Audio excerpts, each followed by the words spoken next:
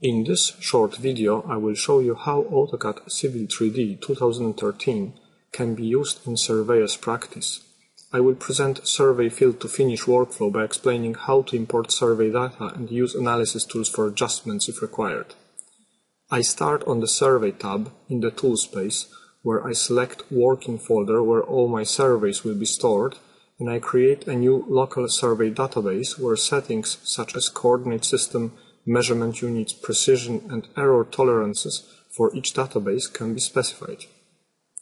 I can also create equipment database where specific surveying instrument values, such as the standard deviation associated with the measuring capabilities for the instrument, can be assigned.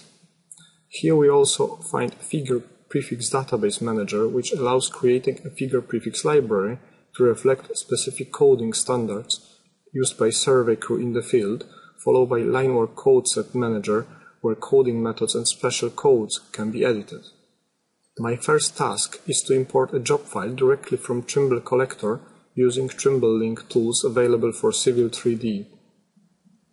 This tool converts a job file into fieldbook file, which is then imported into my database and processed accordingly using figure styles and linework settings specified, and interactive graphics show the location of each station and all the side shots from each station resulting in complete survey being drawn, drawn automatically. Analysis tools allow analyzing and reducing survey data.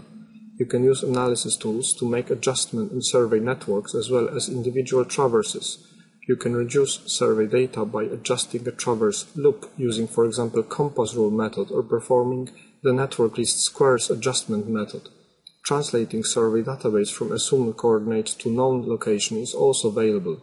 This second, more complete survey job had been used to create a traverse and perform traverse analysis using least squares method and resulting results being displayed and saved to a report file.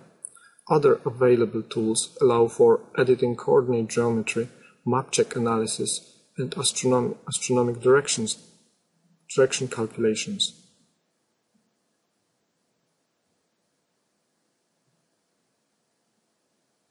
As you can see on the next, next task, survey can also be imported from a land XML, from a drawing, and from a point file, like in this example, with the point codes being recognized, line work automatically processed, and survey figures created. Figures can be queried, edited, uh, or for example checked for exact course and closure. The Genio Exchange format is also supported with the Genio import-export extension tools available on subscription and located on the Toolbox tab in the Toolspace. Survey data imported using any of these methods can be used in automatic surface creation.